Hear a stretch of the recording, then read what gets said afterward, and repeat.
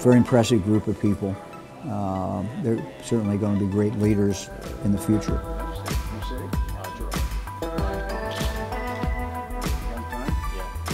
It was a great honor. I did not expect that when I signed up to come here for Boy State.